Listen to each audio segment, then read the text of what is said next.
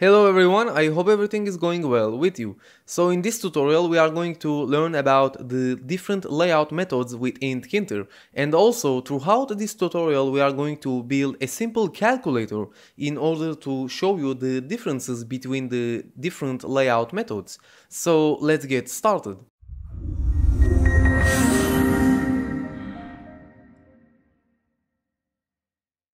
Alright everyone, so I decided to write here some comments that will explain the differences between the different layout methods. So if you remember, by the last episode we covered the pack method, which allows you to throw your widget into the nearest position in the given direction. So the default was side equals top, and then you could see your button, for example, located at the very top position. But when it comes to grid or place, which those are the two different layout methods that we did not cover yet. The behavior is quite different. So let me show you the differences between pack and grid. And in order to show you that, I will allow myself to create here some buttons. So for a beginner, we will create a button and then we will throw it inside the root. And then we will write some random text here and then we will go ahead and try to grid this out. Now, when you put the grid method, you are required to put in some information in order to decide where you want to grid your widget. And it is going to be decided by the column and row indexes. Okay so if you imagine an excel spreadsheet it is just as equal to an excel spreadsheet and then you have to decide the exact location with providing the information like column and row index. So it will be here column equals to 0 and then row equals to 0 and once I run that out you will see the behavior. So let's just make that a little bigger. And then you can see that button located itself in the very top left position. But if I will go ahead and try to create one more button so let me just copy and paste those out. And then we will change this to button 1 and then we will write here button 2 but now I'm going to put here beside 0 1 so the row index will be 1 for button 2 and then I will run that out. And then you could see that the second button jumped out to here and this is because I decided to raise by 1 its row index. And the same behavior would be if I go ahead and raise the column index for my next button. So I will go here and copy and paste myself one final time.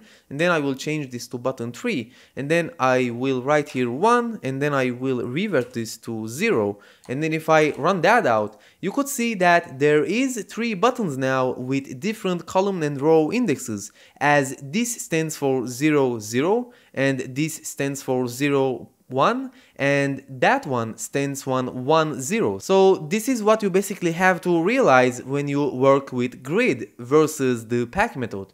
But one more important point that I have to specify here you cannot mix up within one widget the pack and the grid method. So actually this makes sense because those two are dynamic layout methods. And if you go ahead and try to pack some button within your root widget it is just going to mix things up and the Tkinter will not know how to deal with that. So in order to avoid this, when you decide to use one of the layout methods, you have to stick with that throughout all the buttons and labels and stuff like that that you are going to create. So in order to show you my point, I will go ahead and try to create one more button and actually it will make sense to try to copy things out here once again and change that to 4 and then besides grid we will write here pack and then we will allow ourselves to delete those arguments here and now if I go ahead and run that out you can see the exception down below and it says to me that I cannot use geometry manager pack which already has some widgets managed by grid. Okay, so it is extremely important that you don't mix things up. But there is a way that you can overcome this if sometimes you want to use the grid method and sometimes you want to use the pack method. And I will show that just in a second. But before I go further, I want to talk about this third layout method which is called place. Now basically place allows us to locate our widget within a given pixel point. So if I go here and change the button for method from pack to place, I will need to specify some location within the pixel which is going to specify the width and the height. And if I go ahead and write here x equals to 0 and then y equals to 0, it is basically going to locate that button in the very top left position. So I can go ahead and run that out. And in order to show you the differences, let's just write here button 1, 2, and 3, and then 4 here.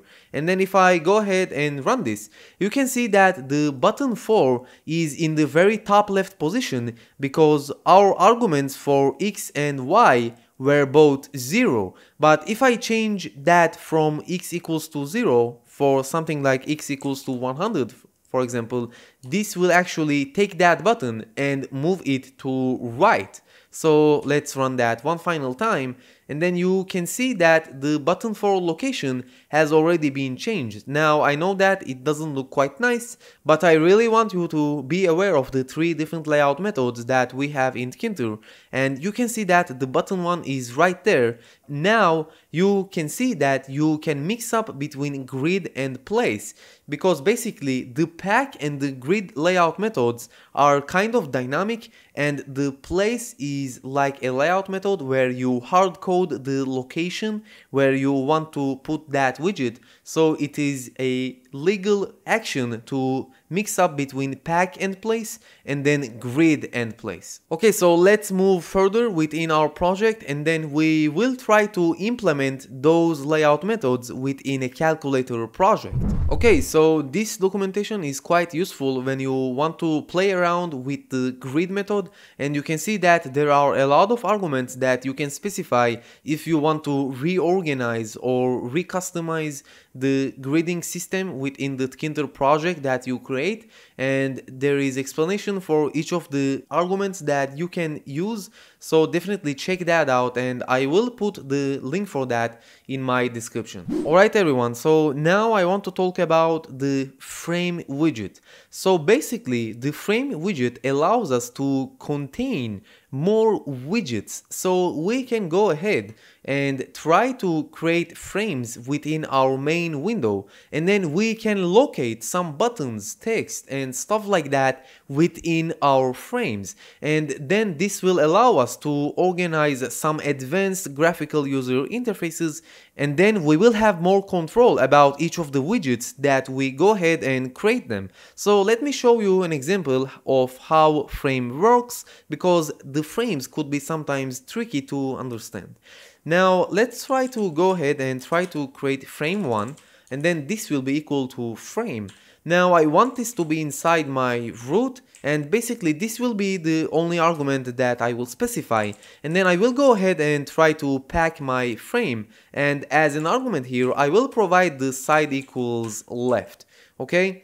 And now if I go ahead and run this actually before that let me make this window a little bit bigger. So it will be root.geometry and then I will write something like this. You should be aware of that if you watch the latest tutorial. So if you don't know what geometry method does, definitely consider watching my first video about Tkinter. So if we go ahead and run that out, you can see that although we have packed our method, we should expect from some differences within our window, but we don't see that. And the reason is when you go ahead and create a frame, the frame is going to be transparent if you don't put inside your frame some widgets. Okay, so in order to prove that, we can go ahead and try to provide here background color and we will make that to be equal to red. Okay, so the way we can achieve this, we can go ahead and write here ff and then 4 times 0. Basically, this is the known way to provide red color with hexadecimal values. So if I go ahead and run that out, we should expect for a kind of new widget with red background, but we don't see that. And that happens because there are currently no widgets inside our frame 1. So what I will do now, I will go ahead and create a new button and then I will put that inside our frame 1. So it will be button and then as the first argument, we are not going to specify root as usual, we are going to write here frame 1, so this button will understand where to locate itself. So here we will write text equals to button one more time, and then we will go ahead and button1.pack, and that will be enough. Now let's go ahead and run that out. And then you can see that we have button in the very left position although we did not provide anything inside our pack but we still do have the problem with the background color. So the reason we don't see that background color, it is basically because the frame size is going to be decided by the contained widget size. So if we go ahead and created one single button inside our frame, what that means, it means that the frame's size is just as equal to button size and then it actually controls the entire area of that frame. And if you noticed, we did not specify any background color for that button. So in order to overcome this, we can go ahead and specify some special arguments to our frame that will allow us to expand it. And here we need to provide some more arguments and it will be expand equals to yes. And then this will expand our frame. And then we also want to decide where to expand that frame. So in order to decide where we are going to expand, we need to specify fill equals to something. Now, this fill parameter is going to decide if we want to expand our frame from side to side or vertically. Okay, so if we go ahead and write here x, this is basically going to expand it from side to side and you can see that over here. So you can see that the red area is our frame and then we have one single button over there. And if I go here and change that to Y, this is basically going to expand it vertically okay so it is also one more important behavior that we have to understand and if I go ahead and write here both so the boat is going to expand it for x and y together and that is why I expect to see that red area on my entire window. And if I go ahead and run that out you can see that this is exactly what happens if you specify the fill equals both. Okay everyone, so we are ready to start building some nice calculator and I draw a basic sketch about the calculator that we are going to build. So let's just raise the PowerPoint up and then we assume that this is our window and I want our window to split it into two and we can do that with frames. So we will go ahead and create two frames. So basically the yellow area will be like the frame and then we want to create two of those and we want those two frames to be like this. So one be in the left side and then the other one will be on the right side. Okay, so let's put this in the Python code and I will go back to our PyCharm and let's start writing this. Okay, so we will create two frames and in the left pane, we will have the different numbers and the actions that we can take with the calculator like multiplying, addition and stuff like that. And on the right area, we will have the calculation and the results itself. Okay, so we will go back to our PyCharm and we will create two frames. So the first one will be numbers frame and this is the frame that is going to be with all the numbers. So each but each number will be a button that we can press it and then this will write the calculation for us. And those buttons are going to be inside the numbers frame. So that is going to be equal to a frame and we want that inside our root. And I want to provide here the background color as well, so it will be bg equals to the hexadecimal value of black and this will be all 0. So you want to make sure that you write here 6 times 0 because this is the value for black in hexadecimal values and then we will go ahead and pack our frame.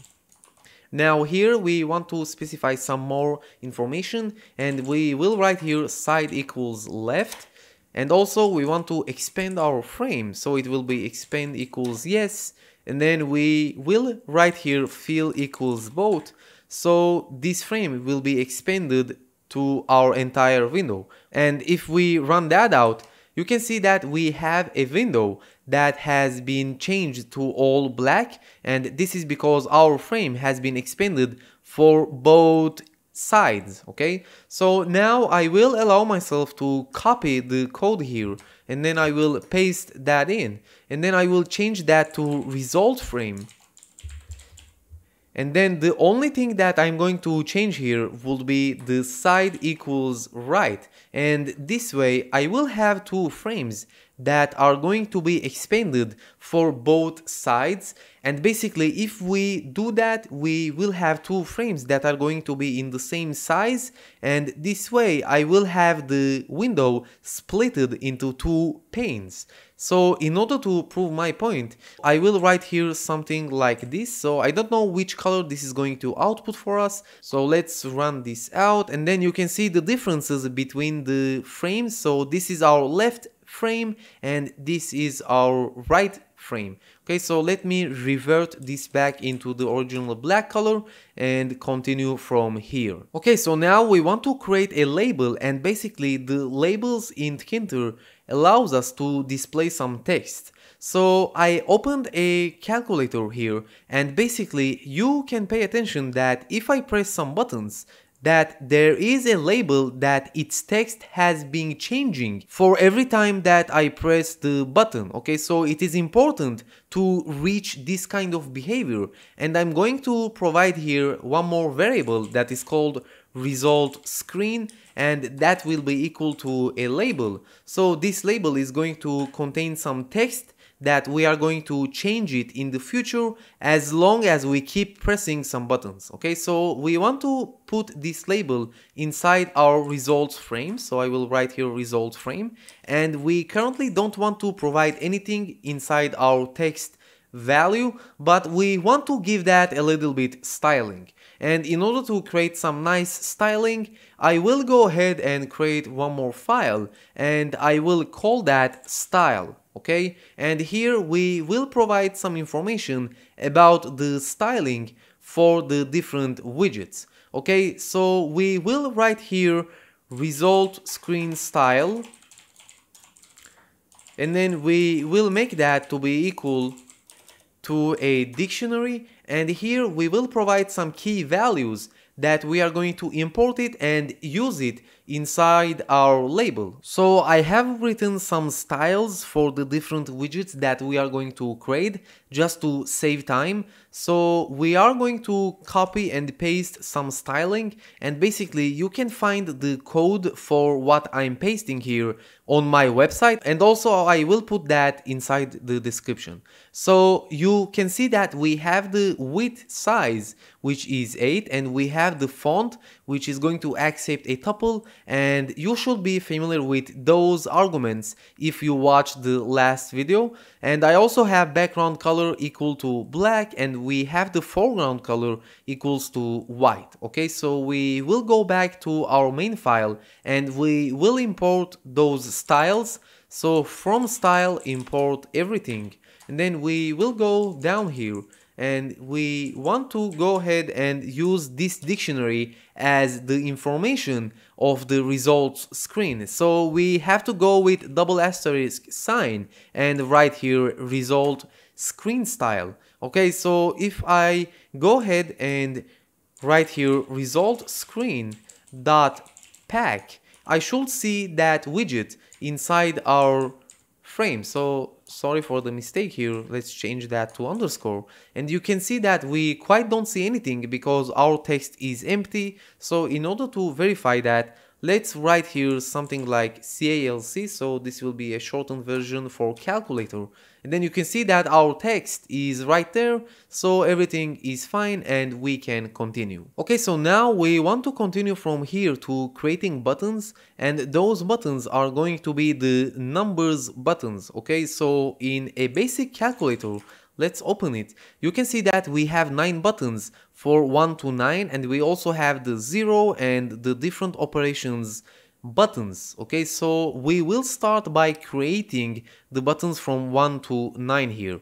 And in order to do that we can create a list of all the integers between 1 to 10 and we can use for that the range built-in function. So we can write something like numbers equals to range and we will provide here some information and our starter integer will be 1 and our stop integer will be 10 and we will step by 1. So this actually generates all the numbers from 1 to 10 but it does not include the last number so it is actually going to generate from 1 to 9 okay so this is quite what we want and we also want to convert that into list just because it is more comfortable to see that as a list. Now we can go ahead and iterate through all the numbers and we can write here for num in numbers. So let me change this location here so we will have a better look and we will write here for num in numbers.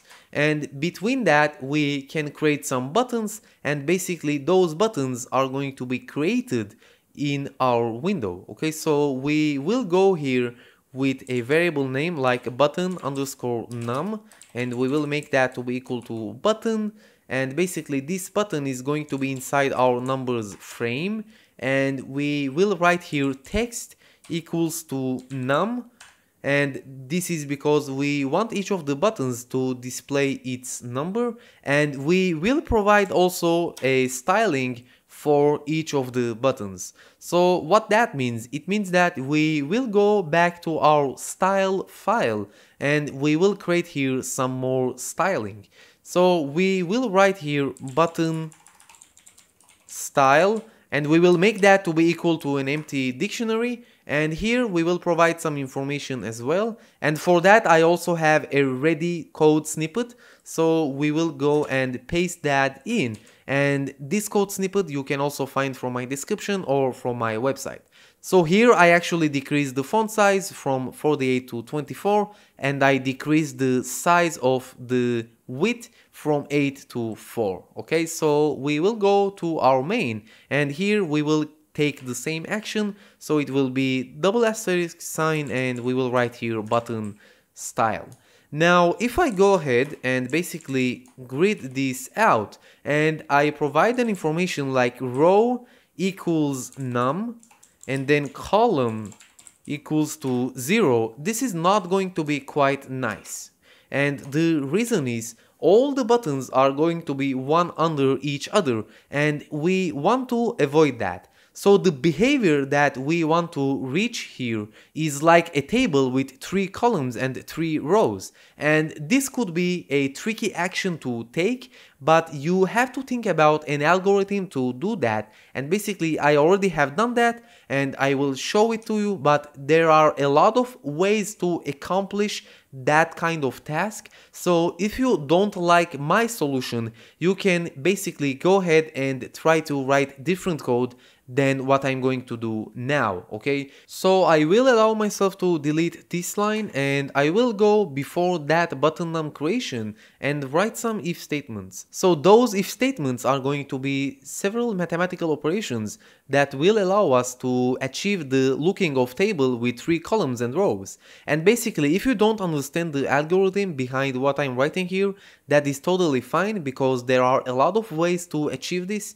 If you want, that is not something that I prefer to do, but if you want, you can go ahead and create 9 buttons manually, but I do prefer to do that with for loops, so it is kind of a shorter way rather than copying and pasting lines. So I will write here if num remainder 3 is not equal to 0. So basically I'm checking if the iterated number when I divide it by 3 has a remainder or not. Okay, so in this case I'm writing not equal to 0 and this is basically going to check if the iterated number has a remainder. Okay, so I will create the indentation for that line and I will go here and grid my button and I will write here column equals to num remainder of 3 okay and also I will go here and write row equals to and here I want to use an imported library which is called mat. Okay so I will go above here and write import mat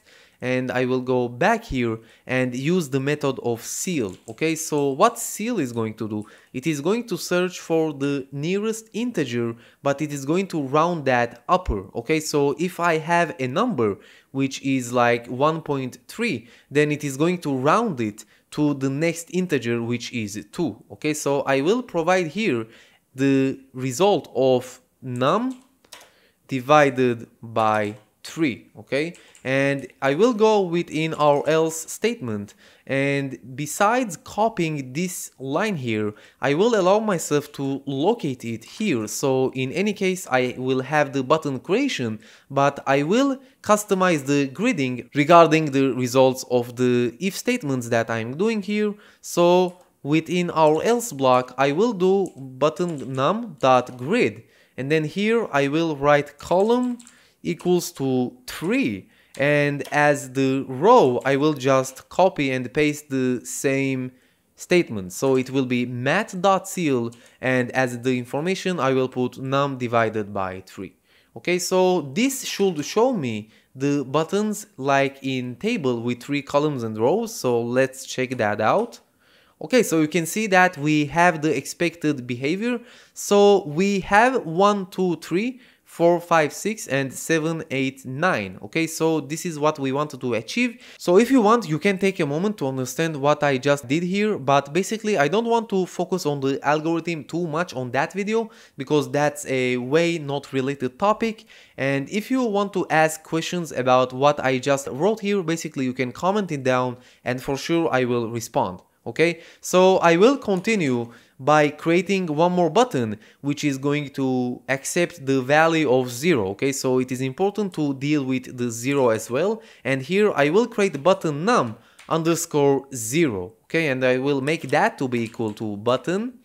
And here I will write numbers frame and also I will go with text equals to 0 make sure to not write it as string. That is important. And as the style I will write button style with double asterisk sign. And here I will go with button underscore num underscore 0 dot grid and here as the information I want that button to be located at the first column. So this is why I'm going to write column equals 1 because if you remember the very first index that we started when we created some buttons was the number of 1 and not 0 because this generates all the numbers between 1 to 9 so let me write that out here so it will be easy to remember and we want to display this button inside a new row. So it will be row equals 4 and now if I go ahead and run this you can see that the 0 excuse me you can see that the 0 is located at the first column but at the fourth row. Okay so it makes sense that the 0 should be here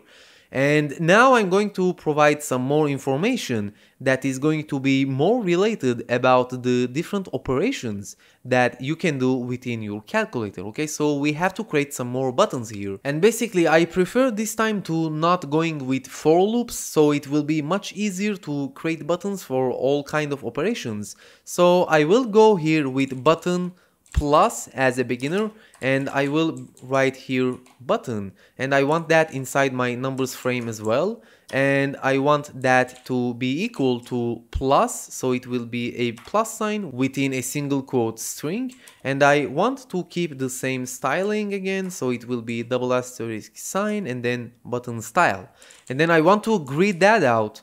And now as the information it makes sense to give column equals to but I will keep the same row, okay? So it will be something like this. And now if I go ahead and run that out, we can see that the plus is right there. But if we go to an original calculator, it is maybe a better option to write the operations in a separated column, okay? So maybe I will change that out to something like column equals 4 and row equals to 1. So it will be right there. And then the minus and the divide and the multiplying be in that column. So let me copy and paste some of the codes over here and we will write here three times. So one more time, okay. Now I will change the rows for 2, 3 and 4 and I will change the text from plus to minus and then the multiplying sign and then the dividing sign. And I also want to make sure that I change my variable name so it will be subtract here. Let me just copy and paste the variable names. Excuse me for that. So button underscore subtract. And here I want to call it button multiply and paste that out and I will call that button divide. Okay, so we can create for loop for that as well, but I don't want to do that because there are two ways to create multiple buttons and basically this is fine by copying and pasting it. So we have the operations over there and we also want to provide the equal sign and also the clean sign. So I will have the ability to clean everything that is going to be inside our calculation. So it is going to be quite same for something like this. So let me write here some operation and if we press the equal sign basically you can see the result but if I press over that button, basically it is going to clean everything, okay? So it makes sense to create two final buttons and we will call them button equal and we will make that to be equal to a button as well. Actually, we can copy everything from here to save our time and we will change that to equal sign and we will grid that button and we will provide the information of column equals to 2 if I'm not mistaken and the row will be 4 okay so if I run that out it is perfect. Then I will do the same for the clean and we will go and write here 3 and we will write the letter of C. Basically it stands for clean and we will change that to button clean and we will write here clean as well. So if we run that out, then we have the perfect calculator and now we are ready to write the logic behind the scenes. Okay, so until now we were able to write the graphical user interface itself, but now we want to write the logic behind what each button is going to do. Alright, so the entire main file is currently displaying the different widgets, but there is not even a single line of code that configures some functionality behind each button. And we are going to do that right before the root.main loop. Okay, so it makes sense to go up here and write a comment that is going to look like user interface widget creations something like this okay? And here we will write a command that is going to be like functionality. And here we will write all the actions that are going to be relevant for configuring the functionality behind everything. So we have to start with creating several functions over there. Because in order to give some button a command which is going to configure the functionality of a button when it is clicked we have to create functions with names okay? So we will start creating some some functions. And our first function is going to configure every button that are not clean and not equal. And the reason is, let me run that program and explain that out.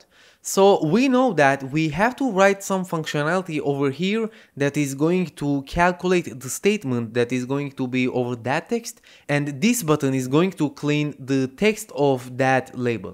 But all the other buttons that we have created are basically going to add some text characters to that label. So their behavior are quite same. So we want to write a function that its name is going to be update result screen. So if you remember, we called the result screen over there. Okay, so let me just delete everything from here. So it makes sense to display here nothing.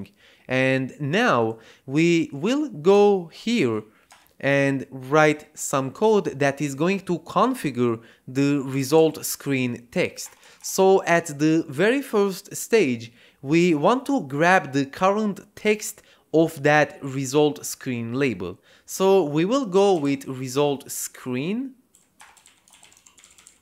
and in order to receive back some value of the properties we have a special method that is called cget and here we can write the key for the value that we want to receive and within our string we will write text okay so here we will assign that as a variable that is called current text okay and we will make that to equal to the result underscore screen dot cget and then as an argument we write text. And then from here we grab the current text of the result screen and now we want to grab the pressed buttons text. Okay, so we will have the ability to add to that result screen label. Okay, so we will go here with updated text and we want to write here current text plus the text of the received button. So now we have to receive a parameter and we will call it clicked button. So it makes sense to call it clicked button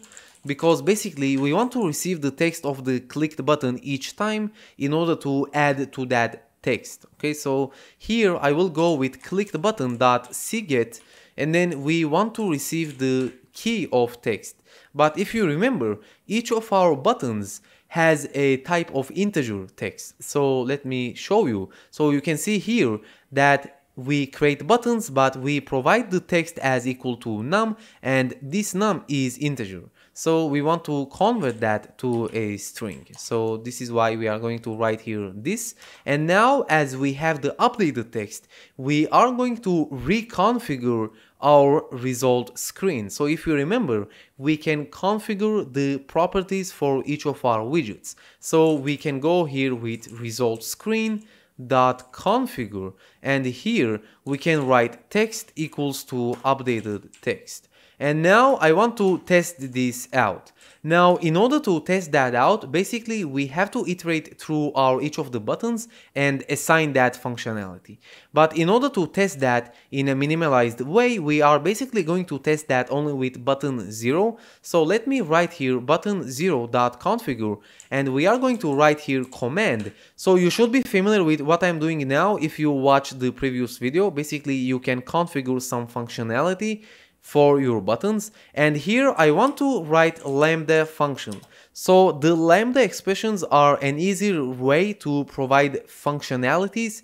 Basically if you want to know more about lambda expressions you can check my channel out definitely I will have an upload about lambda expressions. So I will go here and I will write colon and here I will write update result screen and I will pass the argument as button num0 and basically what this line is going to do it is going to configure the functionality for the button 0 only. So let's run this and basically I'm expecting here for pressing the 0 and see an updated text over here. So if I press 0 you can see that we have 0 and if I press one more time you can see that 0 is being added each time. So this is the perfect behavior that I want to achieve because this is just as equal to a regular calculator, right? If I open it, you can see that when I press 987, that text is being uploaded. So I'm kind of close to reach the behavior that I want. Now you could pay attention that I have deleted the line with button underscore num underscore 0 simply because I want to apply the same configuration for all the buttons that are inside the numbers frame with a for loop. Alright, so now I want to configure each of the buttons that are not clean and equal okay so we want to configure basically the same functionality for all the numbers and operations and we have to figure out for a dynamic way to achieve such a task now if we go here you can see that we have two frames and basically all our numbers and operation signs are under numbers frame. So we can check for child widgets inside our numbers frame and then we can iterate for each widget and then we can assign that functionality with that way. So let me show you an example how you can see the child widgets of some widget. So let's go here and write print line and here I want to check what is inside the numbers frame. So we can go here and we can call a special method that is called winfo.children. Basically, this method will be responsible to show you all the child widgets under some widget. And now if I go ahead and run our program, you can see that we have some button objects and it makes sense that we have 16 of them. And this button object here is perfectly great because that shows us that we have 16 widgets under our numbers frame. So now we can iterate over our winfo children and we can basically check if the widget is not equal and clean and then we can assign that functionality which is the update result screen. So let me delete this one final time and we will write here for widget in numbers frame dot winfo children and basically now we want to write an if statement that is going to check if the iterated widget is not equal or clean. Now there might be some complex ways to check that statement, but I'm not going to complex things up and I'm basically going to check if the widget's text is a number or an operator sign. Okay, so we will first grab the widget's text and we are going to create a new variable which is going to be called widget underscore text and we will make that to be equal to widget.cget and we will grab the text again.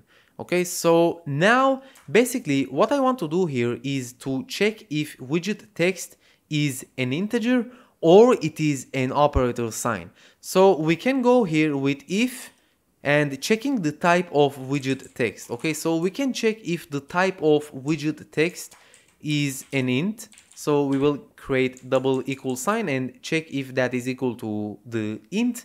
And this is basically going to check if widget text is equal to an integer and that way I can achieve my goal. And we are also going to write here one more condition. So in order to do that, I will write here or, and now I will also check if the widget text is basically an operator sign. And we can do that by widget text in and here I will provide all the operation signs that we have created. So we will write here plus and we will also write here minus and we will also write here the multiply sign and also the divide sign. Okay, so great. And now if one of the statements are true, basically this makes sense to assign the functionality that we did previously. So we will go here widget dot configure and we'll write command and I'm going to write here the same lambda expression that we did previously. So it will be lambda and then we will write colon and now we will go with update result screen and as the argument we will pass the widget. But before we go ahead and test this, we need to provide some extra functionality to our lambda expression. So basically the lambda expression is like functions that you create. And if you go ahead and create functions within a for loop, basically you have to specify that lambda expression is unique per that widget. So we want to give our lambda a name. So we will go ahead and write here widget equals to widget. And basically what this expression does, it says to that lambda expression that the expression itself is unique for each of the widget that we are iterating on. Okay, so this is an important statement that we have to write when we create our lambda function name. Now if I go ahead and run that out, let's see the results. So I do expect to see that nothing happens if I press here and here and that is great. Now let's go here and press some numbers and you can see that as long as I keep pressing the buttons everything is perfect okay so now let's close this out and see the operations as well and you can see that our result screen is being uploaded and that is what we wanted to achieve. Now there could be some extra functionalities that you can configure by yourself. For example, you can write some code that will avoid to choosing more than one operator signs, okay? So it does not make sense to go here and write plus and minus together. So you can configure this with extra code, okay? And now as we have done that, we can also create some functions for the clean and the equal sign. So let me go ahead and create the functionality for clean. So def clean screen and here we will just go inside our function and write widget I mean result screen dot configure and then we will change the text to empty okay? So it makes sense to write something like this. And now we are going to go ahead and assign this functionality to our button clean. So button clean dot configure.